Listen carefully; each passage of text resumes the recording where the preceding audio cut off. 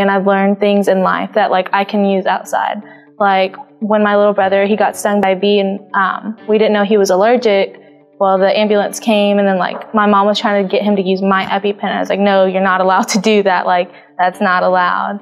That helped us out there. And just like everyday things, like if someone were to pass out or they needed CPR, I could assist them with that.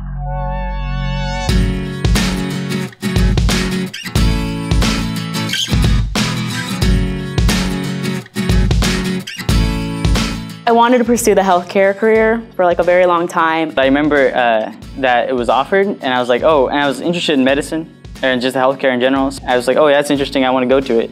And I didn't know actually that there was uh, more to it. Once I graduate, I want to be in labor and delivery. So I was able to do that. And so like this is going to further to what I want to do and it's just an opening to what I get to do once I get out of high school. I think learning it right now is going to help me find a, a job and like when I take actual medical classes outside of universities and all, it'll it'll be good to have the foundation, knowledge I get here.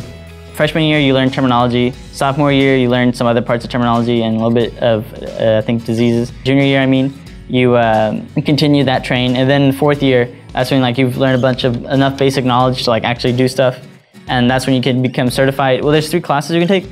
Is to become certified in as a pharmacy technician, so you can actually work at Walgreens or something um, become EMT basic as if you want to be hands-on, you know, like, and you can continue that education. We actually get to use like models and do it on other people and we demonstrate it and then we learn like the right dosages, how to do it, where to put it. Last year we were able to go to the hospital and go on rotations and like I'll get to go see a live birth. I like the checkoffs, like the skills checkoffs. Those are the most interesting because uh, I feel like I'm like putting it into practice.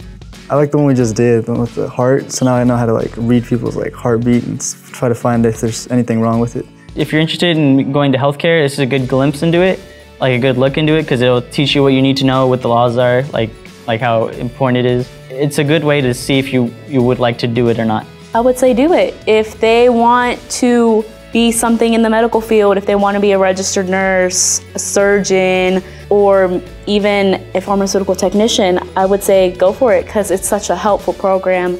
If they are on like the side of not knowing whether or not they want to do it, just to take the leap because even if this isn't it, this still gives them something to know because it is. It's a great opportunity for me, for anyone who's in it because you leave with being able to work in the force and give back to other people.